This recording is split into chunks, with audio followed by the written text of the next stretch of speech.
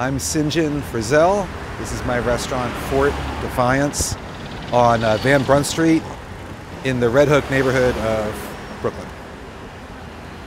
Fort Defiance opened in 2009, and we have served uh, breakfast, lunch, and dinner here for 11 years. In late March, I started to order vegetables for the store, really for myself, and I put a post on uh, Facebook to see if any of my neighbors wanted me to get them some too. And uh, a lot of people responded uh, because they were afraid to go into supermarkets at the time. And online uh, delivery was sort of a mess.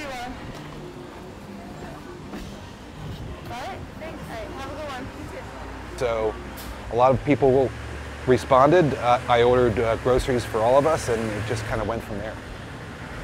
When the pandemic shut everything down, it was actually my daughter who found out that they had turned into a general store basically. And so I started uh, coming over here and getting stuff for my two daughters who live in apartments separate from us. Great salmon, eggs, you know, milk, great produce, uh, really good avocados, lemons, limes, stuff that is running out at different moments all over the city. Uh, they seem to be able to keep a semi-steady supply of. I mean, we're all making do. There was a reason that we chose the name uh, General Store. You know, General Stores were, you know, cornerstones of their uh, communities all over America. And I'm hoping that's what, you know, Fort Defiance uh, can become too. Everyone's sort of doing things in a different way now. Like our vendors who sell us meat and fish are used to sending us, you know, just 20 pound boxes of stuff and now they're breaking it all down and packaging it and labeling it. I mean, everyone is learning how to be more consumer facing. You know, we're all going through this uh, together and, you know, figuring it out and surviving uh, together. I'm so happy that they are doing what they're doing. I mean, we, to be able to access like really nice produce, high quality fish, meats, um, kind of do the market shopping that other neighborhoods have but we don't have in Red Hook, I think it really fills a hole.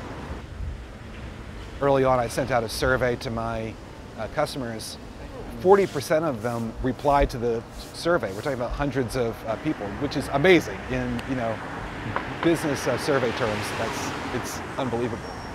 And people wrote the nicest things in their surveys, and, and they were just people are really rooting for us. I feel like they're you know, not only are people shopping here and they're happy to shop here, but they're they're invested in, in our success now. I mean, that, that feels great to have the, the, you know, the neighborhood on your side like that is a, is a really amazing feeling. Makes me feel like we're on the right path, that we're doing the right thing. Every day I was getting emails thanking us for you know, providing this service, which seemed crazy to me because we were making money from selling these uh, groceries, but people were not only happy to pay us, but they were just so thankful that we were doing it. That gratitude really just kept us going and really helped to guide the path of this uh, business. I've been coming to Fort Defiance for about five years. It was one of the places that when I first was considering moving to Red Hook, I kind of wanted to get a vibe for the place and, and what would it be like to live down here. And Fort Defiance, I think, is sort of uh, definitely gave me the sense that there's community, that there's really good food, um, and there's always someone amazing and interesting to get into some random, wonderful conversation with. To be honest, I'm really excited to get into the uh, general store business. I really like buying products to sell to my customers. I love talking to them about it. I love the quality of the, of the goods that we're uh, getting here. And honestly, there's not a business like this in the neighborhood now, and I think it could it could really find a, a permanent hold here, and uh, you know, be as much a part of the community as Fort Defiance was as a restaurant. Water is free. We've got milk bones out here for dogs, so you know, come by and say hello.